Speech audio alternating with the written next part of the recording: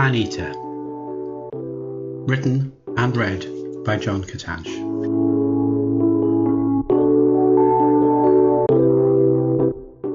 Six months ago, Moira, who had lived next door since I moved in five years ago, passed away. I miss her, but she was elderly and had been in failing health for a while. Her daughter Belinda put the house on the market a few weeks later, and it sold within days, despite being desperately in need of refurbishment. I'm sure that Moira hadn't done anything since her husband died 20 years ago, and every time I popped in, I couldn't get the musty smell out of my nostrils for hours. I asked Belinda who the buyer was, and she told me it was a recently divorced guy in his late thirties. She didn't say much more, she was always a bit snooty, and I got the impression that all she wanted was to get her well manicured nails into the net proceeds. She had already quit her job in the co-op, and she and portly, boring husband Clive were jetting away on a string of exotic holidays. That's one inheritance that won't last long. The new man moved in a couple of months ago, and as soon as the removals van left, I nipped around to introduce myself. After tidying my hair, I levered myself into my tightest jeans and applied my new scarlet lippy, while a girl has to make a memorable first impression. I knocked and heard him whistling down the hallway. As he opened the door, I flashed my sexiest smile. Hi, I just wanted to say hello and see if you want anything. I'm Fliss, and I live in the bungalow next door. Hi, I'm Mark. Nice to meet you, Fliss. It's all fine at the moment, but if I need anything, I know where you are. Thanks, love. I winked at him. Great. I'll see you around, Mark. Welcome to the neighbourhood. You love it here. He nodded, gave me a thumbs up, and closed the door. Wow, Belinda certainly didn't do him justice. He is gorgeous. Tall, dark, muscular, and very handsome, even if he is a man of few words. Life was looking up in Orchard Row. Mark was definitely a creature of habit.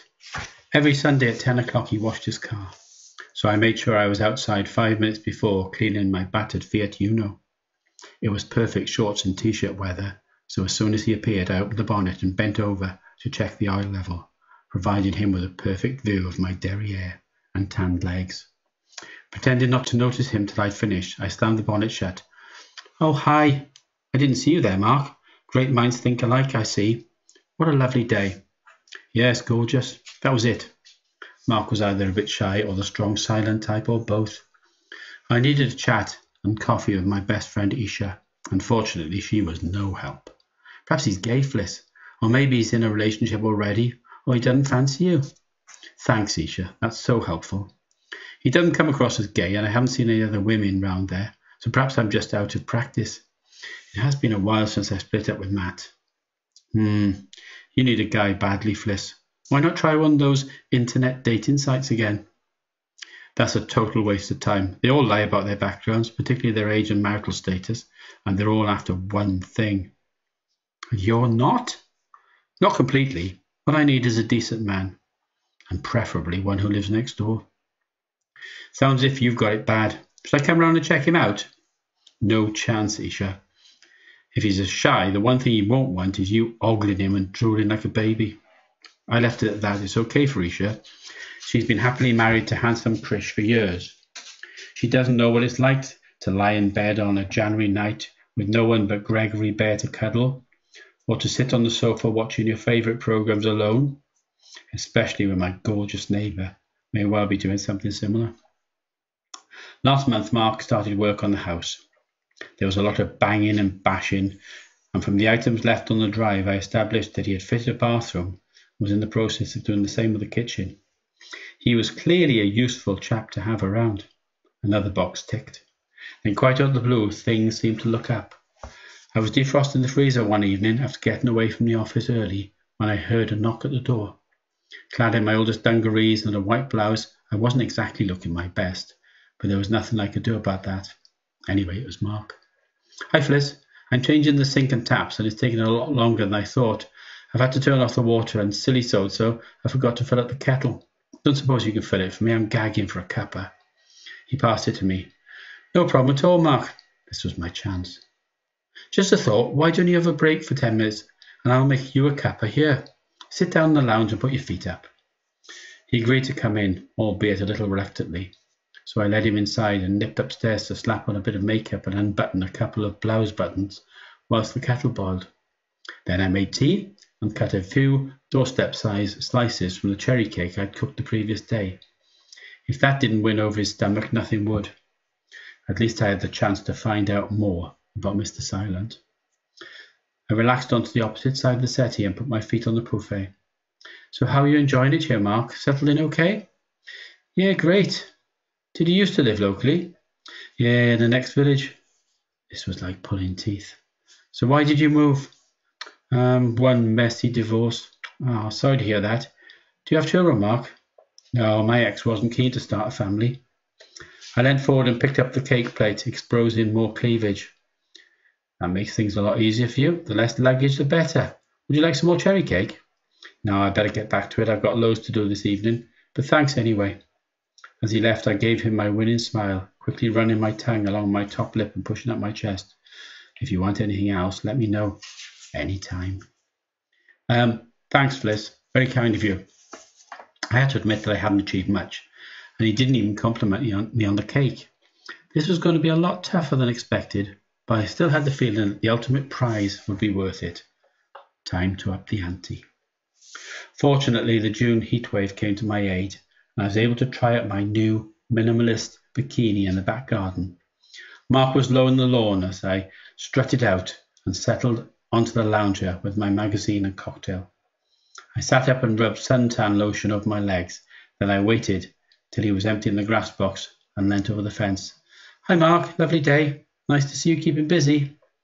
He gave me the once over, although tarty Helen, who was staring over the fence from a house on the opposite side of Mark, shot me a look that would have killed Vestal virgins. Oh, hi, Fliss. Yeah, beautiful. You're looking very um tanned. Things were slowly improving. Thanks. You're looking pretty good yourself. I'm sure he blushed, but then he turned away. Right, back to work. This lawn won't mow itself. Last week, I finally thought I'd made a breakthrough. The kitchen tap had been dripping for a few weeks and seemed a bit loose. I delayed calling the plumber, as it didn't seem to be getting worse, but then disaster struck.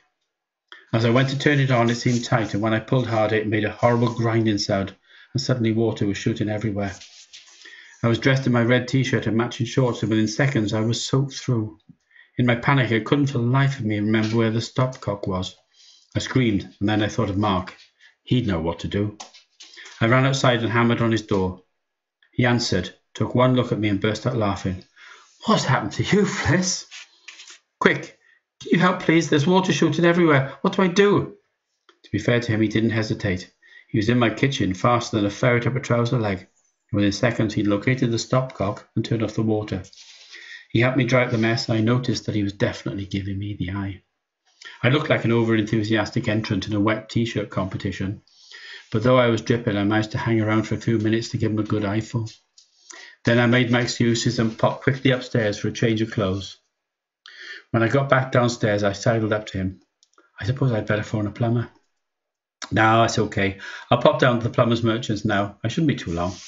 And off he went, which gave me enough time to dry my hair, do my makeup, and improve on my hastily selected choice of clothes before he returned, clutching a plastic bag. Within half an hour, he'd fixed it, another tick in his box. I offered him a coffee without success, and then he stoutly refused to take any money off me. There was only one option I offered to cook him dinner on Saturday evening, and amazingly, he accepted. So on Saturday morning, I drove into town and had my hair styled and my nails manicured. Then I called into the local butcher's and supermarket and bought everything I needed for a sumptuous feast. He was due at seven, so I made my preparations at four in order to have time for a lengthy soak before donning my favourite little black number. It was hot in the kitchen, so I nipped outside for a quick break, and as I stood by the adjoining wall, I heard Mark on his mobile. Only caught a snatch of the conversation, but it was enough. And the old biddy next door keeps pestering me, but hey ho, apart from that, it's fine. I'd heard enough. Oh, biddy? Oh, ruddy biddy? Okay, I am 42, probably a year or three older than Mark, but I keep fit and I'm always getting complimented I look younger. What's the point if that's his impression of me? I burst into floods of tears, and once they'd started, they simply wouldn't stop. When the doorbell rang at precisely seven, I hadn't changed, had mascara all down my cheeks, and I hadn't even started preparing the meal. I considered not answering, but the feisty part of me took control. Before I knew it, I'd opened the door ready to give Mark a real piece of my mind. The look on his face was a picture. Blimey heck, Fliss, what on earth happened to you? What happened? What happened?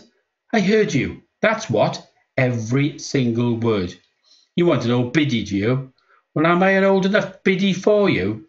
The tears flowed again. What? Sorry, I'm not with you. What the hell are you talking about? I heard you earlier this afternoon talking to your mate on the phone, so don't bother denying it. Look, it's not what you think. Can I at least come inside for a minute and explain? I reluctantly moved aside. Go on then, Pinocchio. This is going to be worth hearing. Fliss, I wasn't talking about you. It was Helen. She's been a real pain. Whenever I go outside, she's there waiting for me. It's bordering on stalking. That's one desperate woman. She must be fifty at least. Not the right moment to point out she was actually forty-six, only four years older than me. Oh, heck, what have I done? I was convinced you meant me. Mark smiled. Don't worry about it, no harm done. Anyway, I'm starving. Let's just have a nice meal and forget all about it. Oh, sorry, I was so upset. I hadn't even started cooking. I could feel a fresh batch of tears welling up. Well, I'll go down to the chippy and we'll share a bottle or two of wine and put the world to right. I managed a weak smile. Really? Are you sure? Yeah, of course. But listen, there's something I have to say. This was it. The big confession. Gay? Steady girlfriend? Not in the market? Go on. I fancied you from the first minute I saw you, but to be honest, I'm just getting over a pretty toxic divorce, and you scared me off, what with all the makeup and the class one innuendo.